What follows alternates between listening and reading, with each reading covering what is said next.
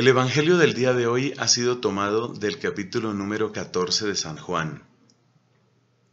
Hay una expresión llena de ternura en la boca de Jesucristo.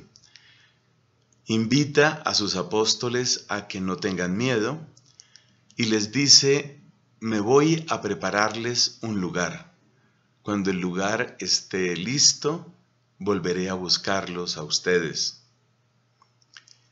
Ese lenguaje de Cristo marca una unión muy profunda con sus discípulos, porque añade, para que donde yo esté, estén ustedes. Así Cristo está invitando a sus apóstoles a crecer en las virtudes de la fe, por eso también les dice, crean en Dios y crean en mí, la virtud de la esperanza, porque les promete esa mansión eterna y permanente en el cielo, y la virtud de la caridad o del amor, porque les dice, estaremos para siempre.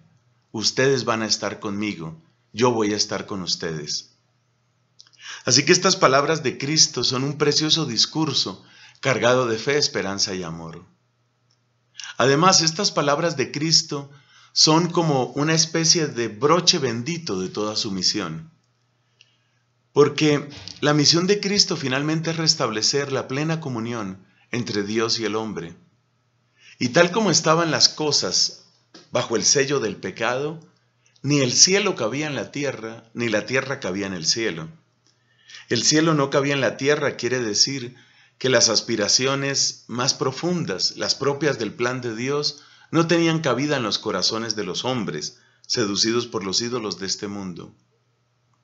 De otra parte, la tierra tampoco cabía en el cielo, porque, como bien dice la Escritura, en el cielo no entra nada impuro ni manchado. Así que ni el cielo cabía en la tierra, ni la tierra en el cielo. Pero gracias al misterio de la encarnación, el cielo ha podido caber en la tierra, empezando, por supuesto, por el corazón y por las entrañas purísimas de la Santísima Virgen María. En ella se hizo posible que el cielo cupiera en la tierra y el Hijo del Hombre, primero Hijo de Dios, habitó en nuestra tierra. Como dice preciosamente el mismo evangelista San Juan, la palabra se hizo carne y acampó entre nosotros y hemos contemplado su gloria.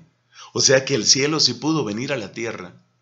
Pero falta la otra parte, que nuestra tierra pueda subir al cielo, pueda estar en el cielo. Y eso es lo que prometen las palabras de Cristo el día de hoy. Les voy a preparar un lugar. Para entender adecuadamente el precioso simbolismo de estas palabras del Señor, conviene recordar lo que encontramos en el libro del Deuteronomio, capítulo 1, versículo 33. En ese discurso del comienzo del libro del Deuteronomio, Moisés recuerda al pueblo cómo la nube luminosa fue delante del pueblo, encontrando los lugares donde el pueblo podía acampar. Podemos decir que esta nube luminosa se adelantaba, iba delante del pueblo, encontrando el lugar donde el pueblo podía estar. Del mismo modo habla Cristo aquí. Yo voy delante, pero voy para encontrar el lugar donde ustedes pueden estar. Conviene recordar también una frase del capítulo octavo del Evangelio según San Juan, donde Cristo habla de lo que es la verdadera libertad y dice, el que es esclavo no se queda para siempre en la casa. En cambio, el que es hijo, ese sí se queda para siempre. Y como Él ha querido que nosotros, por la pura dignación compasiva de su amor, lleguemos a ser hijos de Dios, por eso nos prepara ese lugar.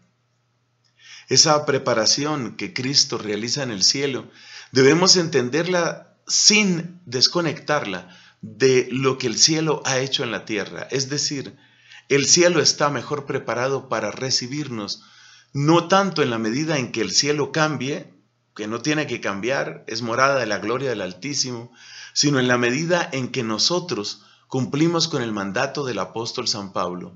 Buscad las cosas de allá arriba donde está Cristo sentado en el cielo.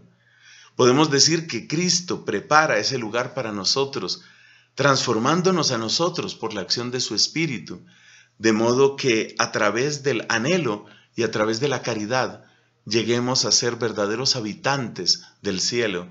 Según dice la carta a los hebreos, os habéis acercado al monte de Sión, a la ciudad del Dios vivo, a multitud de ángeles en fiesta. Eso nos ha merecido Cristo con su Pascua, y hoy su invitación se hace más fuerte y más bella que nunca.